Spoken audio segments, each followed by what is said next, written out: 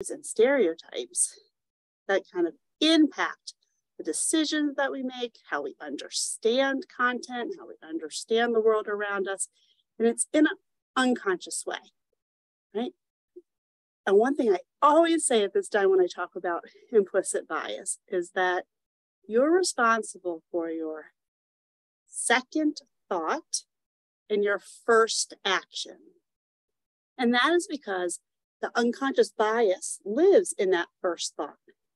So you really can't be responsible for that unless you're going to pay attention to that and re- recognize it, call it out, reframe your thinking, right? and then you're responsible for that second thought, how you've changed and worked with your unconscious bias, and your first action. Right? So we form this outside of our own conscious awareness by the way the brain operates. Right? The brain is designed with this fight or flight mechanism, and we associate things in our brain based on our encounters with attitudes, with people, with our outside world, right? our beliefs, our identity groups. And our brain tends to categorize all of these things, wants to put them in an orderly way with like things all together. And so we have to be aware of how this bias, implicit bias, acts. We have to be conscious of it and we need to redirect it in a positive way. Anything to add, Megan? Nope, I think that's great. And what I want to talk about is, and I just also, I'll just point real, real, real quick here that you have the implicit associ, uh, association test, and that's from Harvard. And there's um, a great series of tests there about all different types of bias that we are all prone to. And so you may think, oh, I don't have any bias, but we all have biases. That's the thing. We all have biases. And so it's important is to recognize our biases, right? And so this implicit bias test uh, that Harvard has created allows you to really see where your bias is and then to work against it, right? To help recognize it when it comes up and then take actions, right? Against your bias as opposed to with your bias. Thanks, Maureen. Um, so the next thing that we're going to talk about is how our bias can affect our, our students, right? Our teaching. And so here are a couple of different examples, right? Um, when, you know, as faculty, if we have bias and we're not recognizing it and we're not acting against it, right? This can lead to these scenarios. Instructors who believe that students speak other languages have poor grammar and or don't write well, right? Instructors may assume that students don't need help when they do. Right? Instructors might incorrectly associate students with figures in the curriculum who resemble them demographically. Right? Instructors may assume students know how to seek help when the research shows that students who are facing academic struggles are less likely to reach out for help. Right? Instructors might believe that students with physical disabilities also have mental disabilities and treat them differently. And instructors might believe students who identify with certain groups should be experts on the issues pertaining to that specific group and really represent that entire group for the whole class. Okay? So these, these are impacts that are implicit. These are just some small number of impacts of the way the implicit bias can affect our teaching right? And so we just kind of wanted to start with that. Like, what is implicit bias? What are some ways that it can affect our students and our teaching? And then what we're going to kind of move on to next is really looking at our content and how we can focus on our content first and then our facilitation in order to identify bias in our content and then right work against that okay so we had plans on having breakout groups, but Maureen, do we have enough folks for breakout groups or do should we be working together? What do you think? So we have about 12, 12 people here with us today. So we could do three breakout rooms if we want to do groups of four. Okay, so we do those three breakout groups.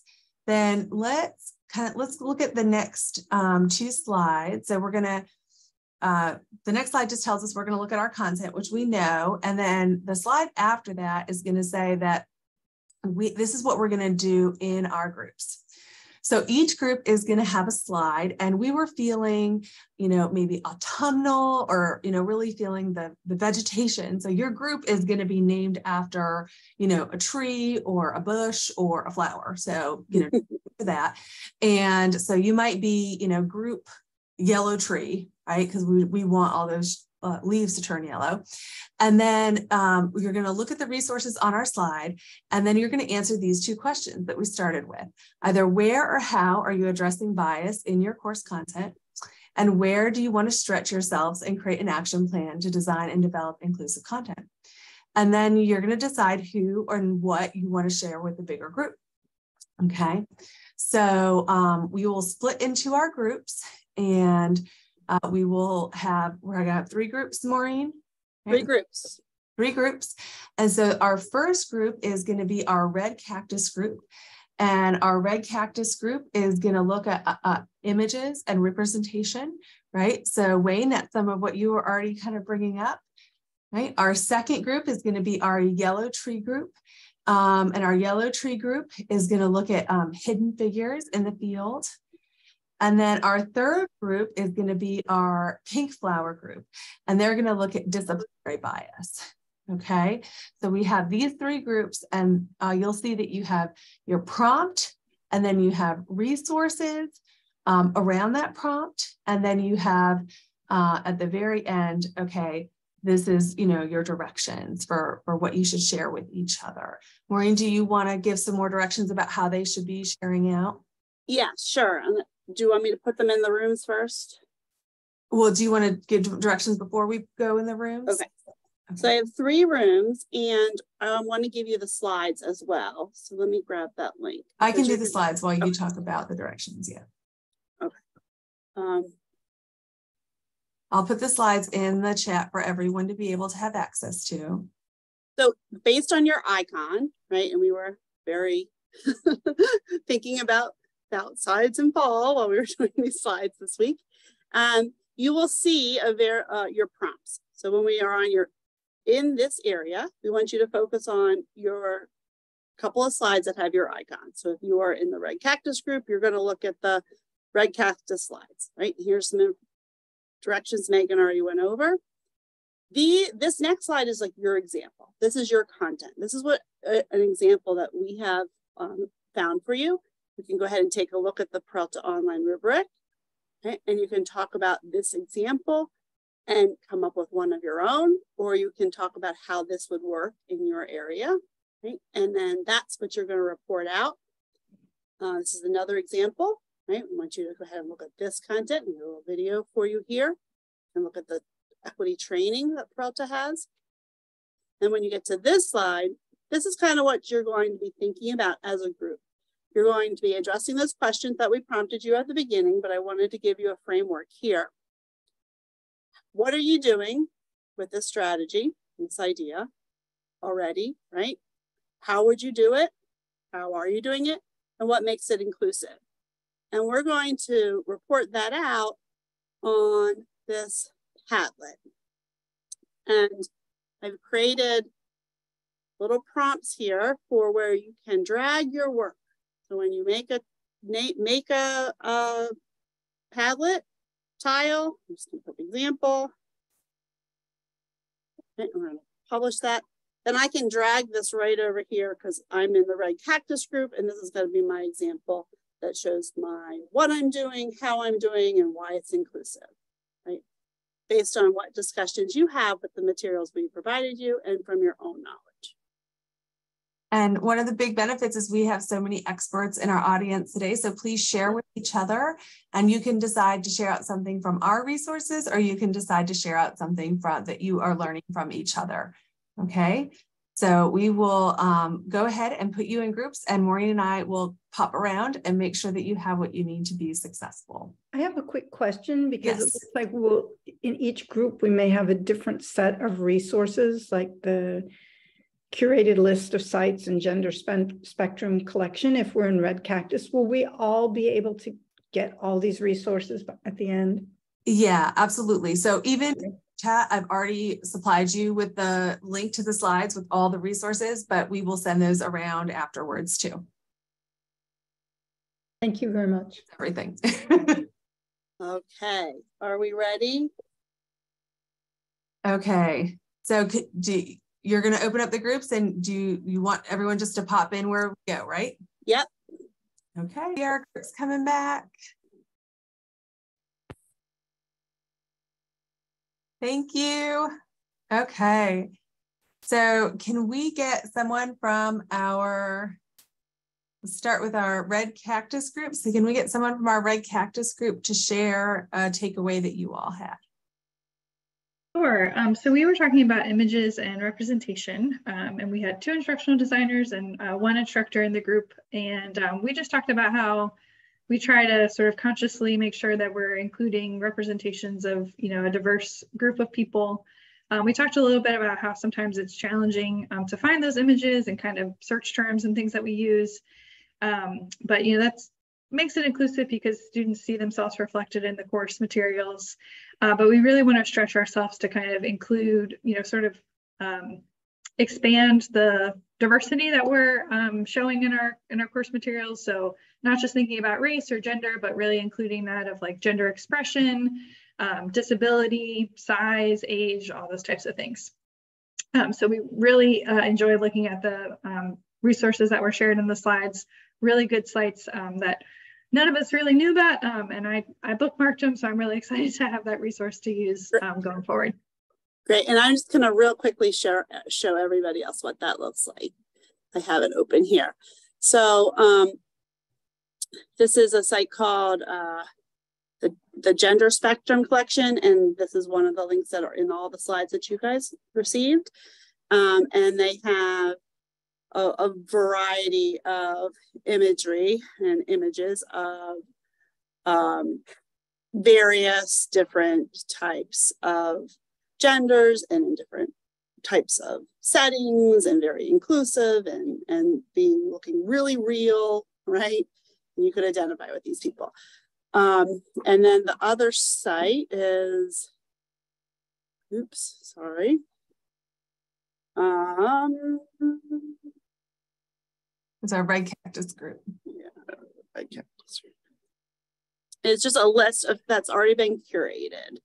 So there's a list of a whole bunch of different stock photos, and it really has it listed out as you are looking for natural women, they have a natural women. If you were looking for a disabilities collection, maybe you'll find it here.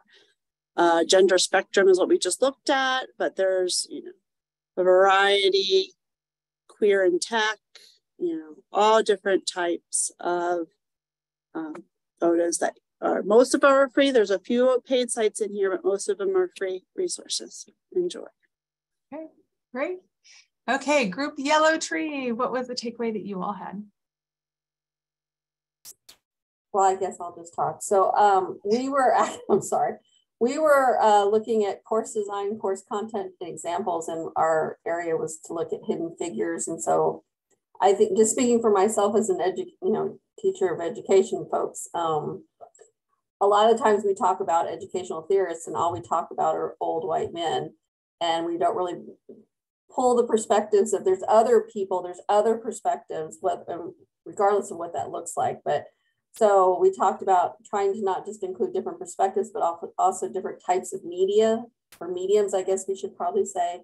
And I think Deborah had a really good point that while we always try to like get an expert to come in and do um, a lecture or talk with the students, it's maybe we need to think about someone who's not specifically considered an expert, but maybe someone who's in the community who's worked with this, uh, whatever population it is for 20, 30 years to kind of validate that because they're, they are an expert. They're just not the, the, whatever the privileged expert that we've, you know, hey, you're the expert in the field. So um, those are just some of the things we talked about doing. Okay, I love that. And our group Pink Flower.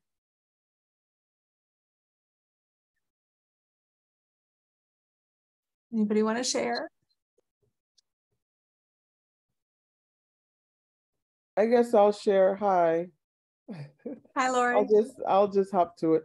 Um, I think that it, for for our group, we talked about the, the major crux is that in certain fields, especially um, like literature or business, how there are uh, uh, clear holes. For example, in certain uh, certain centuries of literature, there just maybe were not like women authors that were present or representation from various cultural or just even philosophical perspectives.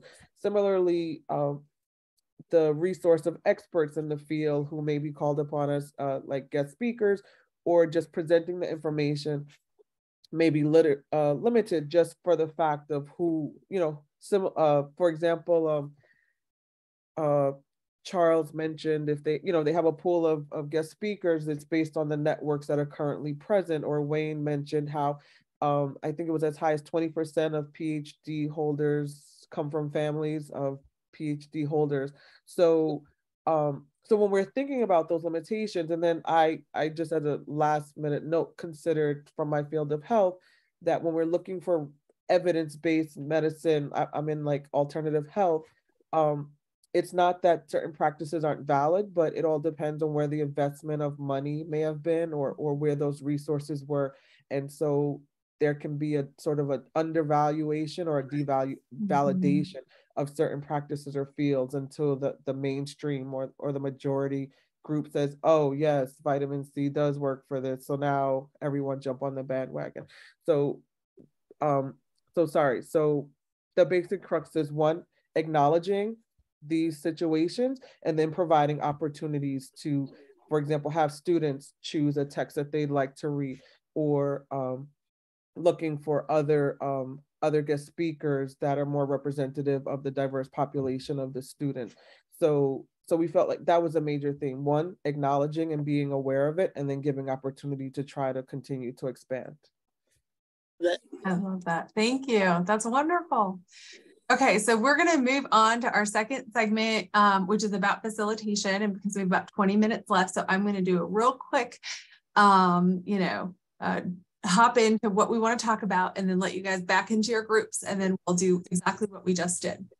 So I know that I am in a group that understands why belonging is so important, that um, having those social connections uh, make students more likely to lean in, to apply themselves, that knowing that instructor believes in themselves is correlated with students, you know, um, success in a course and their retention, um, that when we as faculty, you know, practice that selective vulnerability, portraying ourselves as a real person, talking about our you know, personal struggles, uh, recording a video while we cook dinner or something like that. Um, that allows us to really connect and build trust with our students. But if we are not addressing tensions and bias in our class, that is going to break that trust that we just built, right? So it's really important that we're doing both things, that we are creating belonging and that also we're addressing tensions and bias. And that when we right? Um, you know, have a moment where we exhibit bias, that we model what we want our students to do, right? Where we address it. Some of the things that we talked about before, we acknowledge it, we address it, we apologize. Well, what do we want our students to do? That's exactly what we need to do if we exhibit bias in the classroom, right? We want to exhibit that growth mindset. And we know that all of these behaviors all together are going to increase students' persistence and engagement in the classroom, right? Um, online, you know, we call it scheduled remote, flexible online, scheduled remote, whatever your institution is calling all of our wonderful online modalities now. Okay. So, in order to talk about this, we are going to get you back into your groups. And we have um, a couple different options for you this time. Our Red Cactus group is going to look at something called warm and wise feedback. Our um, Yellow Tree group is going to look at something called the Raven approach, which is I'll tell you, I love the Peralta online equity rubric and the Raven approach is one of my um, other favorites. It's by Dr. Frank Harris and Dr. Luke Wood, and I just can't say enough about them. Um, they're some of my favorite folks out there. And then we have the pink flower is going to look at um, back at that Peralta online equity rubric again and talk about what are some of these aligned examples, what are these best practices and aligned examples. But remember that you all can just start with talking to each other about what you're already doing, you know, what, what does this mean to you? So our examples are there, our resources are there, but you can just talk to each other and share with each other. We're going to give you, I'm going to call it eight minutes because we have to have a little time to share up and wrap up when we get back. Okay. So Maureen, can you put our folks back into our groups again?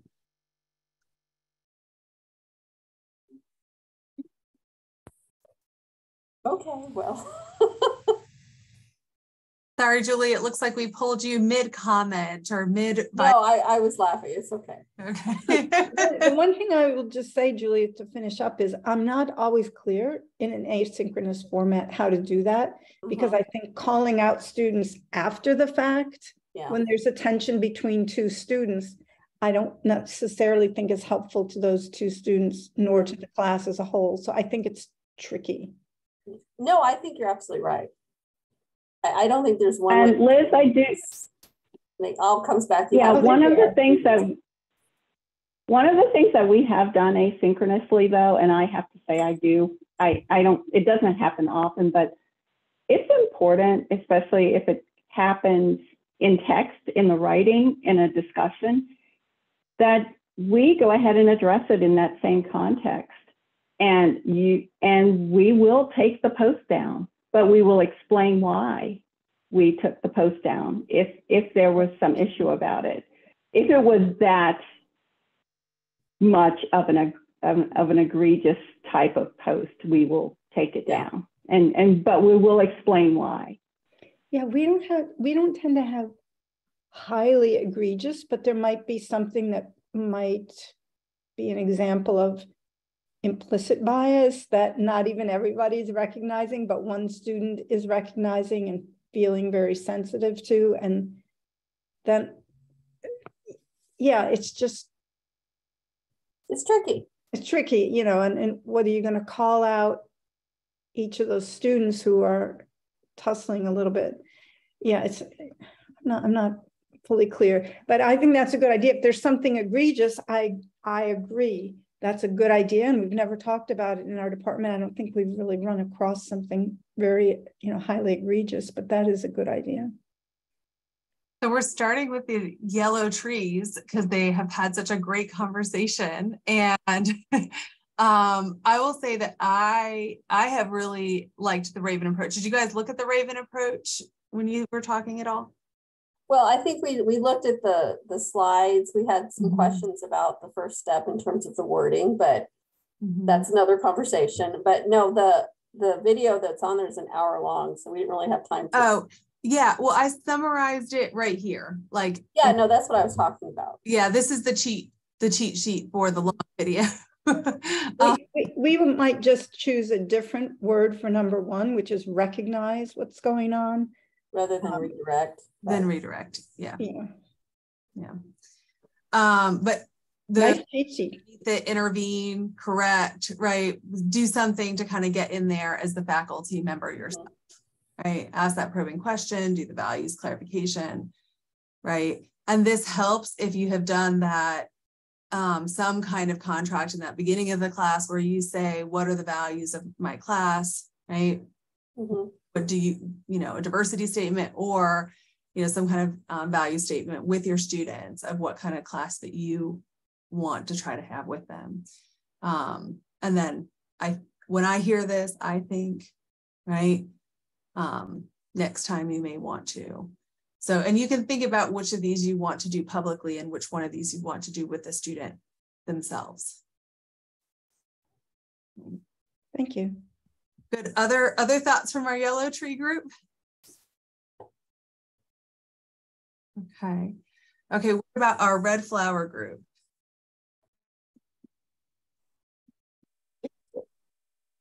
Or red cactus. Oh, sorry, I'm getting my colors confused with my trees. And flora and fauna, yes. Pink flower or red cactus. Red cactus. Um, I can share. So uh, we talked about um, the warm and wise feedback.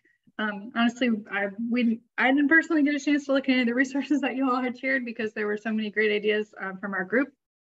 Um, but excuse me. Um, one thing that was shared that I thought was um, very powerful, just like a simple mindset shift, um, is just kind of reframing how certain things are phrased. Um, so uh, Brianna and her group was talking about how instead of calling something a late policy, um, calling it an opportunity policy, um, and just kind of subtle shifts like that, where it sort of emphasizes the more positive aspects of something versus the punitive. Um, I love that. Lots of other, you know, great ideas, but that's just kind of a quick one to share. That's great. Thank you. Okay, and our pink flower.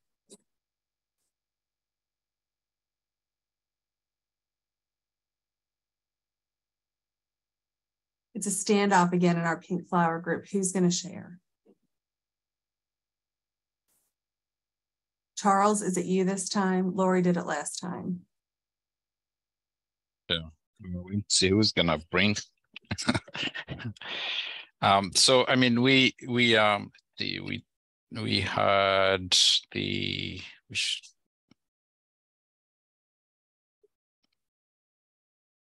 so we're talking about uh, course facilitation. So, you know, one one of the um, one of the items we talked about is, you know, how, getting the class to let's say maybe it's a class setting, getting the the class to to get started. And one of them was just to get the students to share a little bit about about themselves. Mm-hmm. Um, we found, you know, that to be a to be a you know to be an effective uh, effective way of of doing it.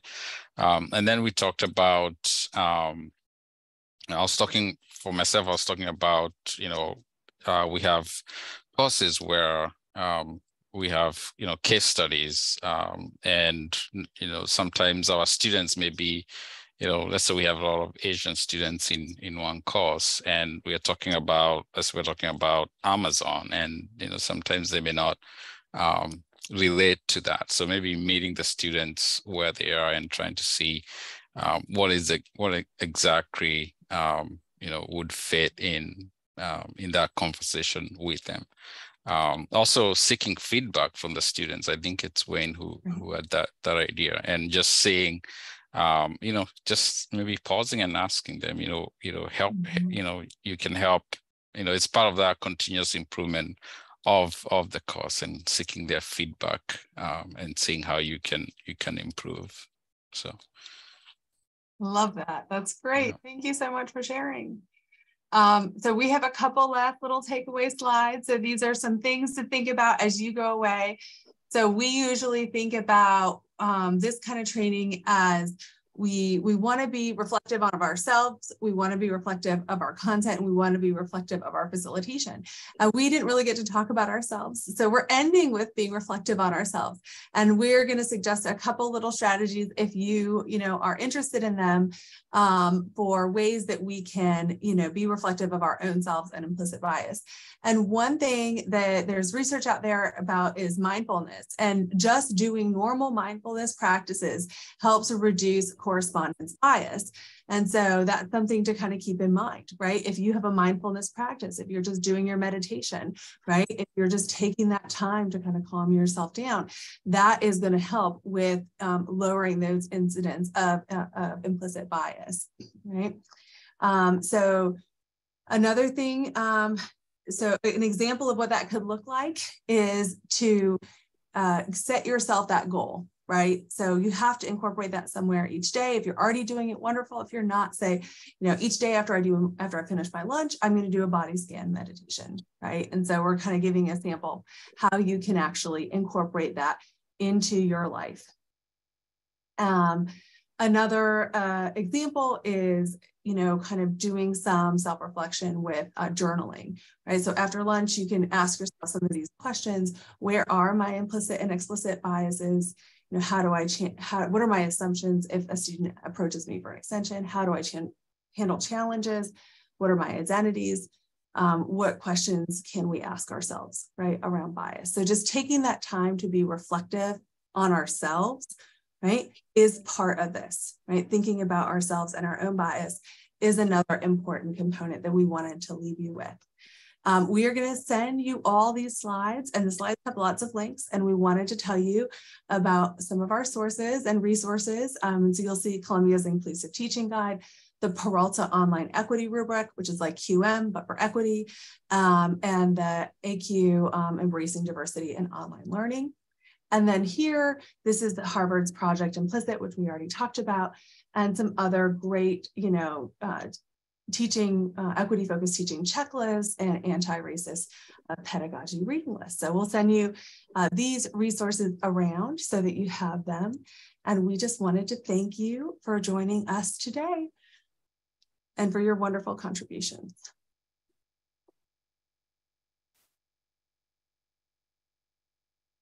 Okay. Do we want to put up that other slide? Yep, there we go. very much. Thank you all for joining us. And in case you need the uh, credit for attendance, you can take a screenshot of the slide. And thank you all for coming. Megan and, and Maureen, it was a wonderful session.